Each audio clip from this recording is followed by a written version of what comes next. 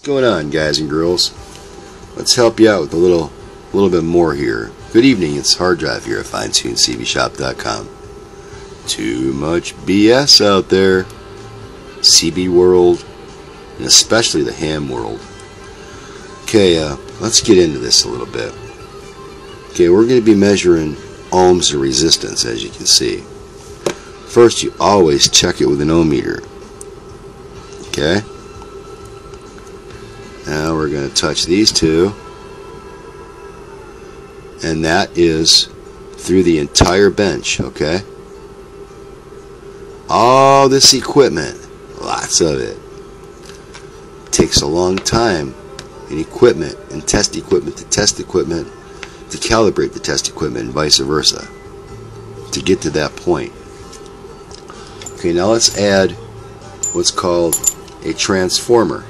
That's what this is. Due to length. Okay? Let's see what we got. And again, this is only resistance. Like you see here.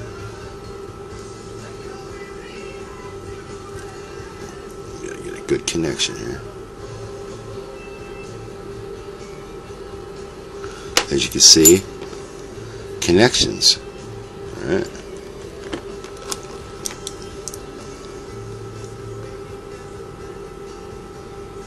See that? My own connections. But now you see it. Okay?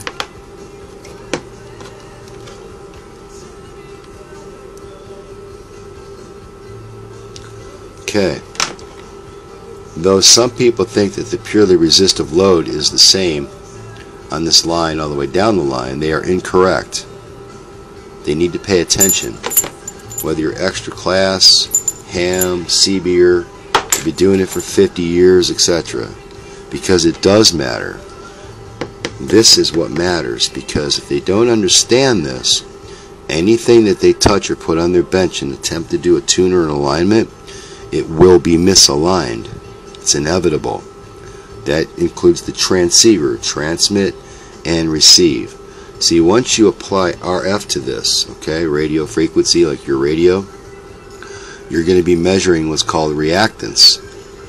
Reactance varies with frequency due to capacitance and inductance. Capacitance and inductance cause a phase shift down the wire. If there's anything that I mentioned in this that you don't get, I really suggest that you start studying. Some get it, some don't. Okay? Make sure you got it or don't. They don't understand vectors. Don't let them touch it.